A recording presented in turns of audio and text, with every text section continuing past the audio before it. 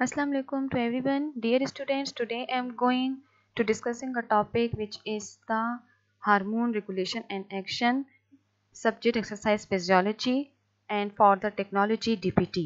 So आज का हमारा जो टॉपिक है वो है हार्मोन उसकी रेगुलेशन एंड हम एक्शन की बात बात करेंगे टुवर्ड्स एक्सरसाइज सो फ़र्स्ट हमारे पास जो हार्मोन्स हैं वो हमारे पास सिक्रेटेड होते हैं फ्रॉम द एंडोक्राइन ग्लैंड से एंडोक्राइन ग्लैंड जो है तो वो हमारे पास जो एज वी नो के वो हमारे पास डकलेट्स ग्लैंड होते हैं। Mean that secrete their hormone directly into the blood mean हमारे, इसमें जो हार्मोन्स होते हैं डकलेट्स होते हैं, इसमें उनकी डक्ट्स नहीं होती और वो अपनी सिक्रीशन को डायरेक्टली जो है तो वो ब्लड में सिक्रीट करते हैं। इसमें हमारे पास डिफरेंट टाइप के हार्मोन्स आते हैं और वो हैं हमारे पास hypothalamus hypothalamus pituitary gland thyroid and parathyroid glands, adrenal gland, pancreas, testes and ovaries ठीक है? ये डिफरेंट ग्लैंड्स हैं जो कि हमारे पास डकलेट्स ग्लैंड्स हैं। वन बाय वन हम एक एक ग्लैंड को डिस्कस करेंगे। सबसे पहले हमारे पास जो आता है वो है हाइपोथैलेमस हाइपोथैलेमस हमारे पास लोकेट uh, करता है in brain just below the thalamus यहाँ पर आप पिक्चर में इसको देख सकते हो। कि हमारे पास थैलेमस जो है तो यहाँ पर लोकेट हुआ हुआ है। In this region of the brain ठीक है? बिलो द थैलेमस अब यहाँ पर आते हैं कि हाइपोथैलेमस हमारे पास क्या करता है कि ये हाइपोथैलेमस कंट्रोल करता है एक्टिविटी को of the anterior and the posterior pituitary glands हमारे पास जो एंटीरियर पिचुटरी ग्लैंड्स होते हैं, ये उनकी एक्टिविटी को कम्प्लीटली कंट्रोल करता है। And influenced by the positive and the negative input यहाँ पर हमारे पास पॉजिटिव और नेगेटिव इनपुट का मीन ये है कि जब हमारे पास ये हाइपोथैलेमस रिलीज़ होता है तो ये जो पॉजिटिव चेंज होता है मीन पॉजिटिव और नेगेटिव इनपुट का, कि हमारे भी जो पॉजिटिव चेंज होता है, उसको इन्हेंस करता है, और जो नेगेटिव इनपुट होता है, ये उसके एक्टिविटी को डिक्रीज करता है। To maintain the and control the body next हमारे पास जो हार्मोन आता है, वो है anterior pituitary gland anterior pituitary gland हमारे पास जो है तो हार्मोन को रिलीज़ करता है और वो है हमारे पास ग्रोथ हार्मोन ये ग्रोथ हार्मोन जो कि सिक्रीट होता है एंटीरियर पिचुटरी ग्लैंड से. अब यहाँ पर आपको कहते हैं कि ग्रोथ हार्मोन क्या करता है? कि ये सिक्रीट होता है from the anterior pituitary gland से and essential for the normal growth ये हार्मोन एस इंडिकेट, उसके अपने नेम से इंडिकेट होता है कि ये हार्मोन हमारे पास जो है तो नॉर्मल ग्रोथ के लिए बहुत ज़्यादा ज़रूरी है। नेक्स्ट क्या कहते हैं कि स्टिमुलेट द प्रोटीन सेंथिसिस अब यहाँ पर प्रोटीन सेंथिसिस का मतलब जो है तो ये है कि हमारे, ये हार्मोन क्या करता है कि प्रोटीन सेंथिसिस वो प्रोसेस है। दिस वन प्रोटीन सेंथिसिस यहाँ पर protein synthesis process in which a cell make proteins ठीक है? एंड हमारे पास uh, जिसमें सेल्स uh, जो है तो वो प्रोटीन्स को बनाते हैं। नेक्स्ट ये आपको क्या कहते हैं कि and long bone growth definitely जब ग्रोथ का नाम आता है तो वो बोन्स की ग्रोथ में भी इन्वॉल्व होता है। नेक्स्ट क्या कहते हैं कि इंक्रीज ड्यूरिंग एक्सरसाइज हमारे पास जो ये ग्रोथ हार्मोन है ये एक्सरसाइज से हमारे पास इंक्रीज हो जाते हैं। And mobilize fatty acids from the adipose tissue अब हमारे पास जो फैटी एसिड्स होते हैं फैटी टिश्यूज होते हैं, जो कि हमारे पास ओबिसिटी काज करते हैं, ये क्या करते हैं हार्मोन जब ये ज़्यादा हो जाता है ड्यूरिंग एक्सरसाइज तो ये उसको मोबिलाइज करता है। मोबिलाइज मीन के उन फैट्स को ब्रेक डाउन करता है। नेक्स्ट कहते हैं कि aids in the maintenance of the blood glucose ये हमारे पास जो ग्लूकोज का जो लेवल है, ये उसको भी मेंटेन करते हैं। अगर आप यहाँ पर फिजियोलॉजिकल इफ़ेक्ट आप ग्रोथ हार्मोन में देखें, ठीक है, हमारे पास ग्रोथ हार्मोन है, ये क्या कर रहा है एडिपोज टिश्यू का डायरेक्ट इफ़ेक्ट होता है ग्रोथ हार्मोन का एडिपोज टिश्यू के ऊपर, और ये उसको जो है तो मोबिलाइज करता है, ठीक है मीन उसको ब्रेक डाउन करके फैट्स को खत्म करता है। सेकेंड हमारे पास जो है तो ये लिवर से जो रिलीज़ होता है, ठीक है हार्मोन उस, उसका जो इनडायरेक्ट इफ़ेक्ट पड़ता है हमारी लॉन्ग बोन के ऊपर मीन के हमारे पास लॉन्ग बोन में ग्रोथ में रिस्पॉन्सिबल है। हमारे पास लॉन्ग बोन्स जो है तो बॉडी में ह्यूमरस है रेडियस है अल्ना है फीमर है टिबिया फिबुला ये हमारे पास बॉडी की लॉन्ग बोन है, जिनकी ग्रोथ में ग्रोथ हार्मोन जो है तो वो इंक्लूड होते हैं।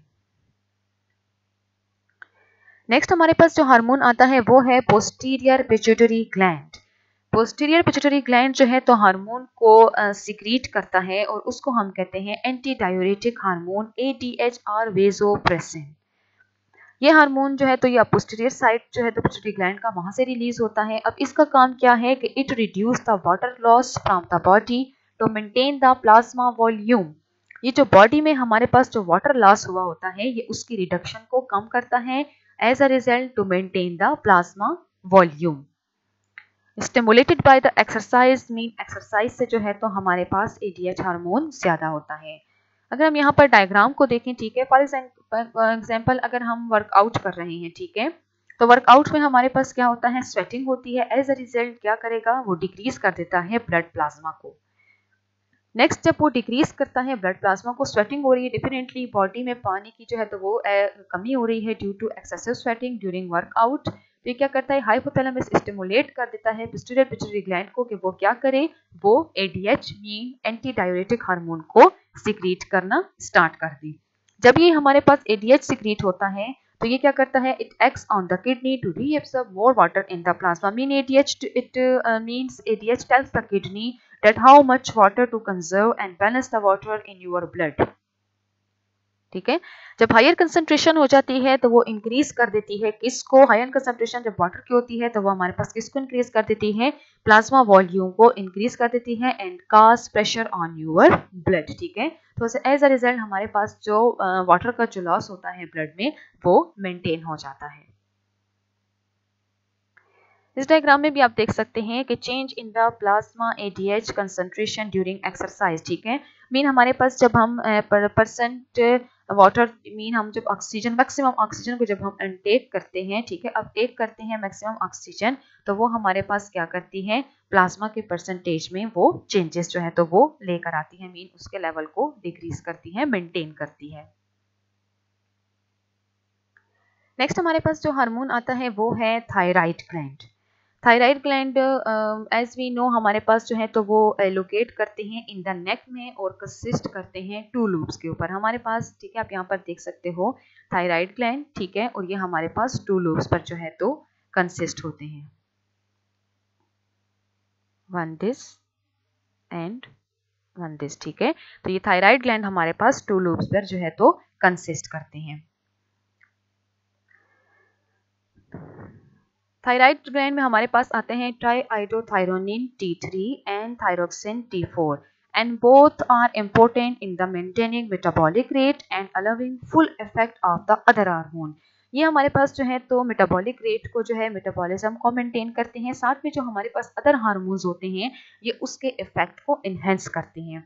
इसमें हमारे पास आ जाता है कैल्सिटोनिन कैल्सिटोनिन जो है तो हमारे पास कैल्सिटोनिन जो है तो वो प्राइमरीली जो है तो वो एक्ट करता है on the bone kidney small intestine sides to maintain the appropriate calcium level ठीक है? यहाँ पर भी हम आपको यही लिखा हुआ है कि regulation of the plasma and the calcium level mean ये कैल्सिटोनिन हमारे पास कुछ बॉडी ऑर्गन्स पर एक्ट करता है as a result to maintain the calcium level second हमारे पास जो आता है, वो है parathyroid hormone it is also involve in the plasma calcium regulation. हमारे पास अब यहाँ पर जो पैराथायराइड हार्मोन्स होते हैं, वो है भी हमारे पास जो है तो वो प्लाज्मा में होते हैं एंड एज अ रिज़ल्ट दोनों का काम क्या होता है?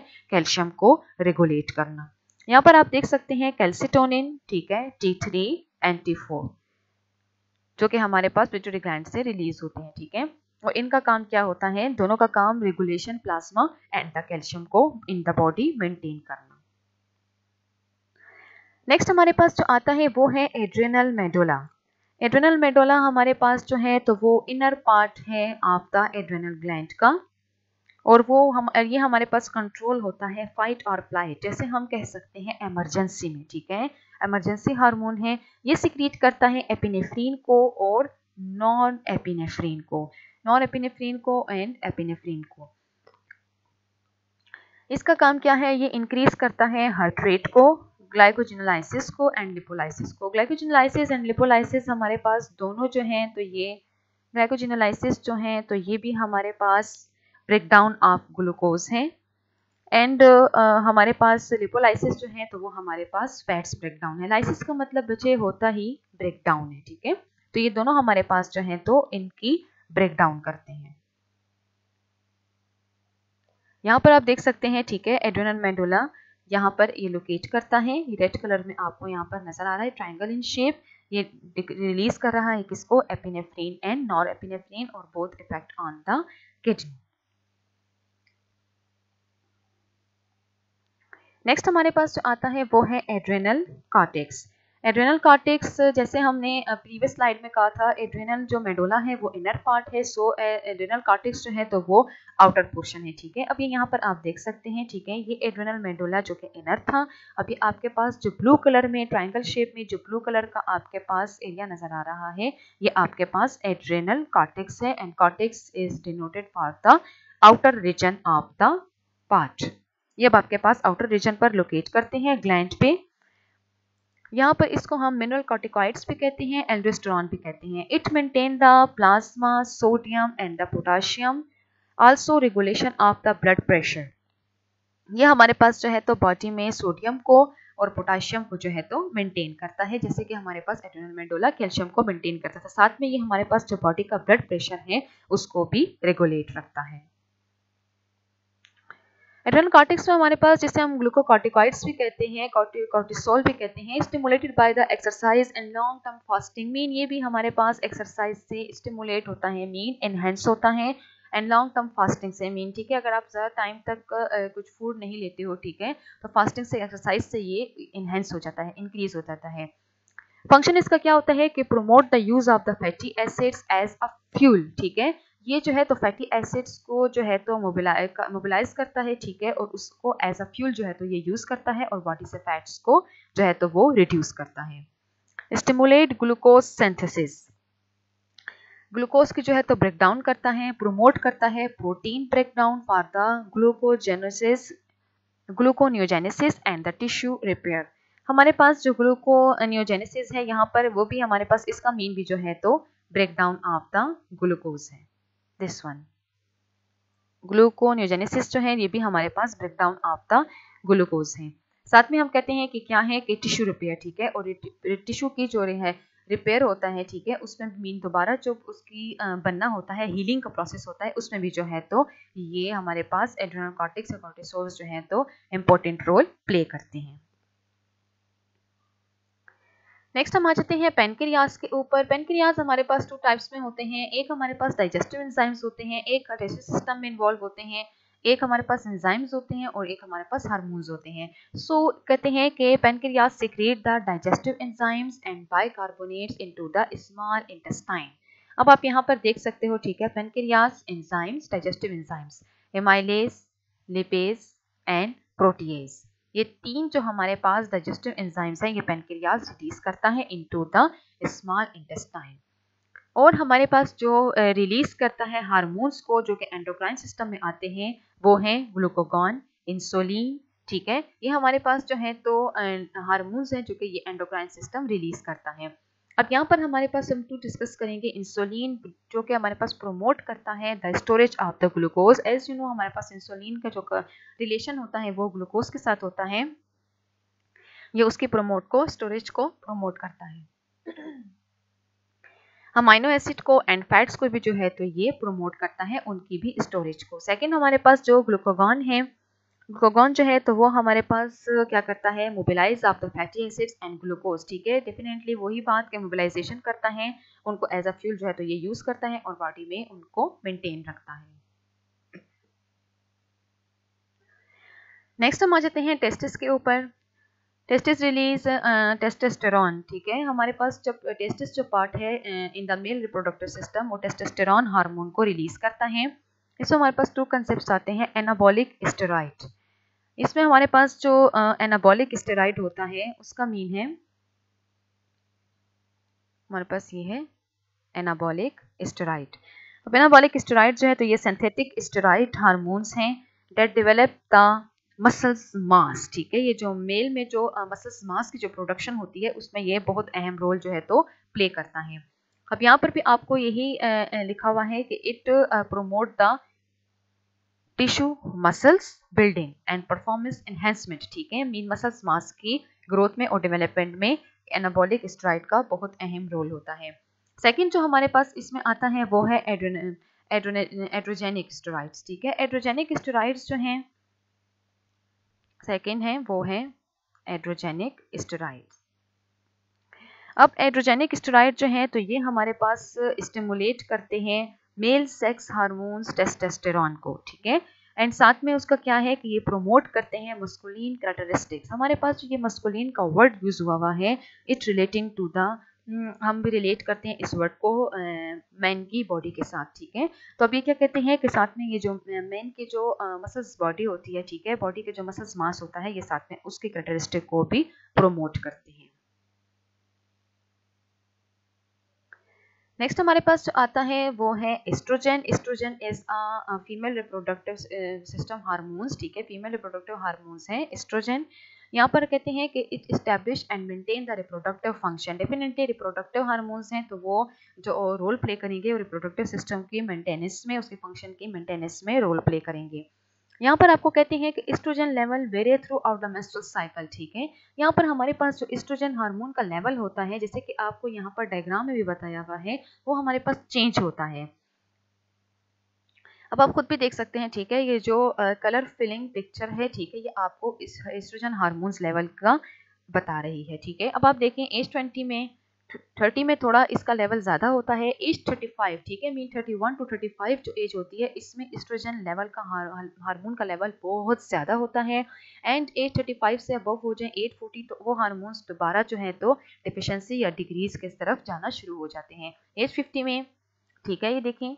एज सिक्सटी एज सेवेंटी में और एज एटी में आकर बिल्कुल हार्मोन्स जो होते हैं, वो फीमेल की बॉडी में ऑलमोस्टली जो है तो डिफिशेंट हो जाते हैं। तो हमारे पास यहाँ पर हम जो एस्ट्रोजन हार्मोन जो फ़ंक्शन प्ले करता है वो भी डिपेंड करता है फीमेल की एज के ऊपर so it is important factor direct effect on the hormone level on the in the female body as important factor है Uh, thank you. If you have any or suggestions, so you can share in the comment section.